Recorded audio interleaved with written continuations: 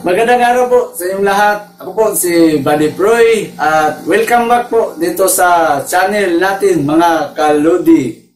Dahil po malapit na po ang Pasko, kaya naisipan kong mag-install po sa Christmas light.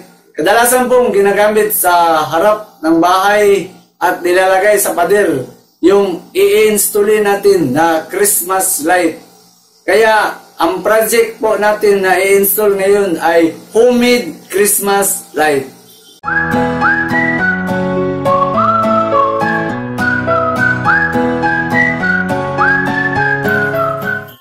Ito po mga lodi, gagamit po tayo ng rubber socket, gagamit rin tayo ng mill plug, at saka gagamit rin tayo ng color bulb So, ito yung mga bulb natin.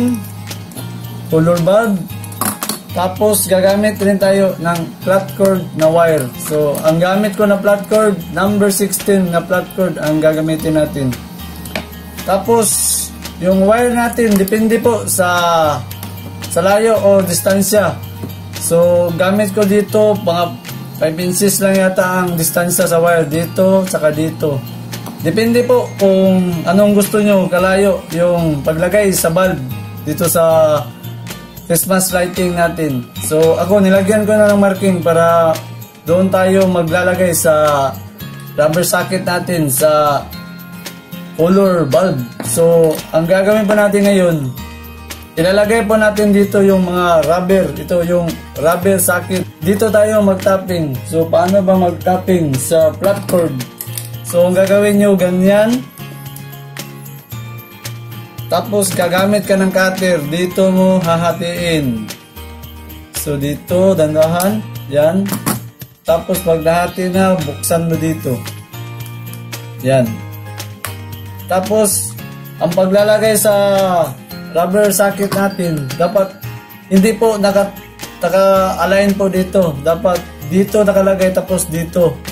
Para in case po sa pag electrical tip matanggal, baka ma-short circuit. Kaya dapat dito yung isang line, asa yung isa dito ilagay natin. So, dito natin ilagay yung rubber socket natin. So, paano ba magbalat? So, dandahan, baka maputol po ang wire natin. So, dito ka magkakat, ganyan. Tapos, ganyanin mo. Tumalon. So, so dito tayo magumpisa. So, ang gagawin natin dito, kahit magkabaliktad yung wire sa paglagay dyan. So, dito tayo magumpisa dito. Yan. Tapos, gagamit tayo ng maliit na plier natin dito.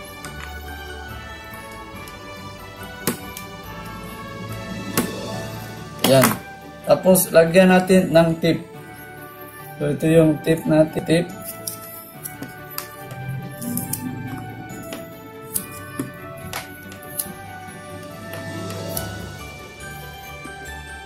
Yan.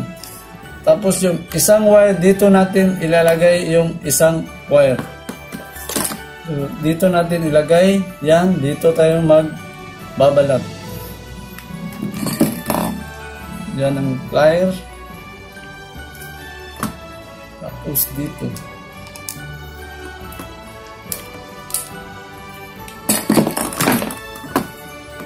Dito natin ilagay. Yan.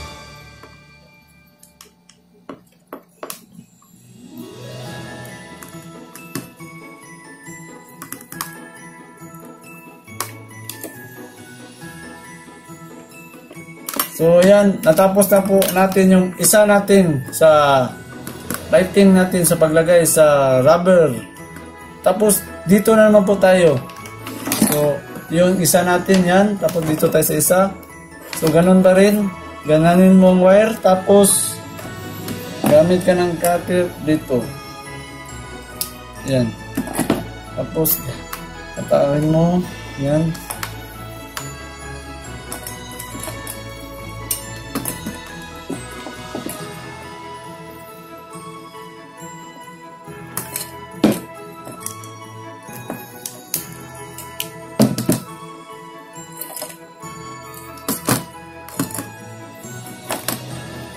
So, yung wire natin dito, kahit po magkabaliktad, okay lang po kahit magkabaliktad pagkalagay.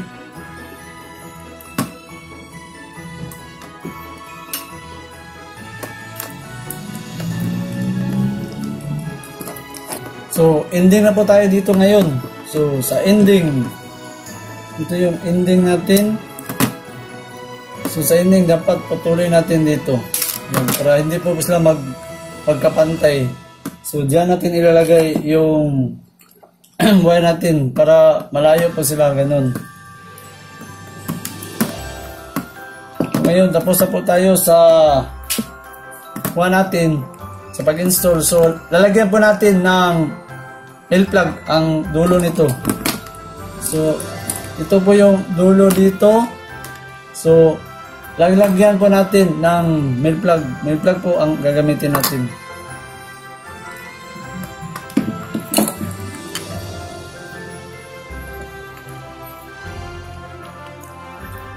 So, ito po, tapos na po ang paglagay natin sa mail plug. So, Magamit po tayo ng tester kung hindi po ba ito short circuit yung ginawa natin sa sa rubber socket natin sa Christmas light.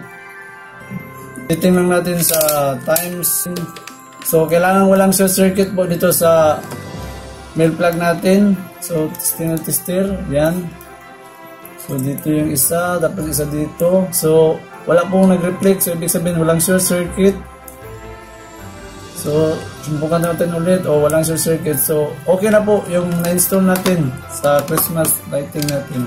So, yan na po, nilagay na natin sa wall natin ang Christmas lighting natin. Ang gagawin po natin ngayon, lalagyan po natin ng bulb. So, dito tayo maglagay ng bulb. Nalagyan na natin ng bulb. So, medyo i-adjust po natin kunti yung camera para makita yung isang bulb natin dito. Yan. So, ang gagawin natin ngayon, ipa-plug in muna natin itong mill plug natin dito. Saka, i-on muna natin itong circuit breaker natin. Tapos, ilagay po natin dito sa outlet. So, yan. So, i-adjust ko itong camera para makita po. Okay. So, yan na po ang Christmas light natin.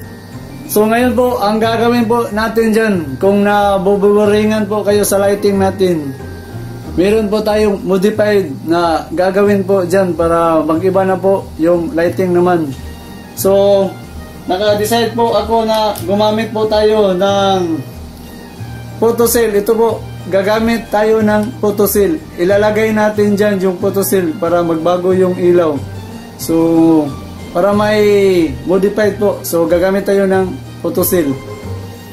So ang gagawin natin, may diagram po ako dito. Gusto ko ipakita sa inyo. Ito po ang diagram sa photocell natin. So gusto ko ilagay doon.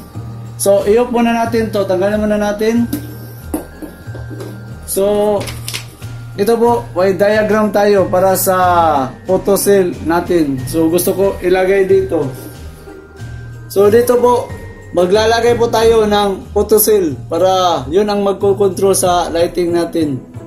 So ito po yung diagram. So mapapansin niyo po itong photocell natin. Medyo dinagdagan ko na ng wire kasi maliit na yung wire. So kung makikita mo, ito yung black, dito naman yung white at saka red. So may color po ang photocell natin. Ito yung black, sa center yung white, at saka sa red. Doon sa load. So makikita naman yung white, tapos yung black, at saka yung red load. So ang gagawin po natin ngayon dito sa wire, lalagyan po natin ng photocell.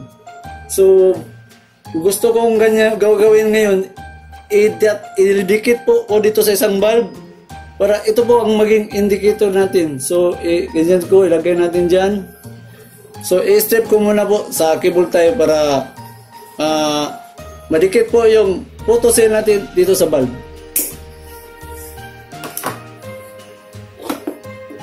Tapos, kung napapansin niyo po dito, yung black at saka red.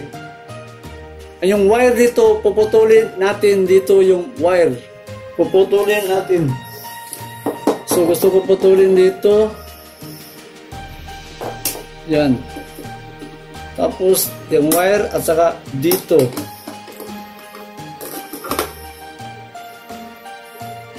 So kung makikita nyo, yung dito sa street line sa taas, nakatap yung white wire. So ito yung white, ito yung white. Dito natin itatap sa taas para sa photocell. Ayan. So natap na natin yung white dito. Tapos yung sa load side ito, yung naputol natin na wire, dito natin ilalagay yung red na wire. So red wire dito natin ilagay. Tapos yung kabila dito sa naputol, dito yung sa line 2, dito natin ilagay yung black wire. Ito yung black wire natin. May nilagay po tayong switch dito. Kung napapansin nyo dito, may switch po tayong nakatap doon sa black. At dito sa kabila, nakatap doon sa red. So, gumawa po ako ng switch na isa. Ito po, ang gagawin natin dito sa hanging switch, ilalagay po natin dito sa baba sa photocell. So nakatap po siya sa black, tapos yung isa ka switch dito dadaan patungo dito sa red. Isasalin natin to na nakalimutan natin ilagay, dito natin ilagay. So makita naman dito yung black, nakakonek yung black isa patungo doon dito sa switch. So ito yung hanging switch natin, kita ko. So itap na lang natin dito.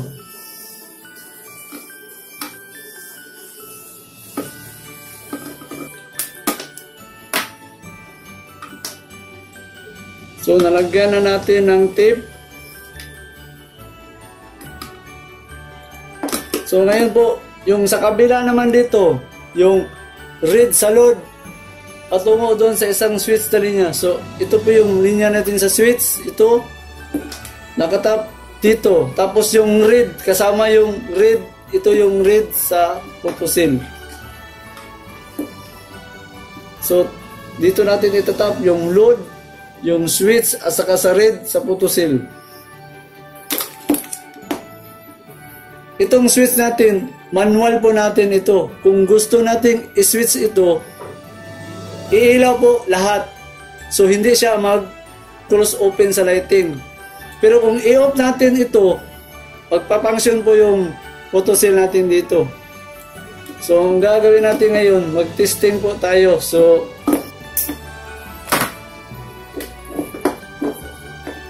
So, ang gagawin po natin ngayon, medyo iabante po natin yung camera natin. Para makita po lahat. So, iabante na yung camera natin. Ayan. Ayan. So, ito po yung manual switch natin at ito naman po yung photocell na nilagay natin. So, ano ba mangyari sa light pag nilalagyan ng photocell? So, mag-testing po ta mag-testing na po tayo. So, i-switch on ko to breaker. Tapos, itong switch natin, naka-off lang itong switch natin. So, off muna. So, ito muna pang papangsyonin natin yung photocell muna natin ang ipapagana po natin. So, switch on natin. So, ngayon ang gagawin niyan, maghintay po tayo na mag-activate po yung photocell natin. So, sa tingin ko medyo maliwanag po kasi kaya hindi nagpapangsyon yung photosync natin. I-switch off muna natin itong light background natin. So, ayan, umilaw po ang photosync natin. So, tingnan natin kung masya-shut off pa siya. Ganyan po. Oh. So, kung napapansin nyo dyan, umilaw at hindi po ang mga lighting. Dahil yung photocell, madilim. Pag umilaw po itong unang bulb natin, nailawan yung photocell natin. Kaya, mag-flash off and on po ang light natin. So kung makikita nyo, yan po ang mangyayari. So ganyan po.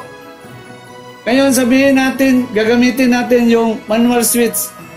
Itong manual switch natin, pag switch natin to, iilaw po ito lahat.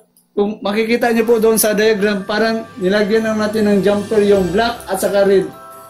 So, switch on ko itong manual switch natin. So, ayan, kung makikita mo, hindi yan mag-blink ang, ang photocell kasi nag-jumper po tayo dito sa switch natin. So, hindi po siya magbabago. Ganyan lang po ang ilaw mangyayari pag i-on mo itong switch. Parang jumper mo lang doon yung yung black at saka red natin sa photo cell. So, ngayon, i-off natin yung manual switch para mag-activate po yung photo cell natin. So, obserbahan muna natin. Yan, umilaw. Tapos, pag umilaw na yung cell na ilawan dito, kaya muli po siyang mag-off. So, ganyan po ang project natin ngayon sa homemade Christmas light with cell with manual switch. So, kung napapansin nyo, yan po ang para hindi po boring siya tingnan sa labas kung gusto nyong lagyan ng photo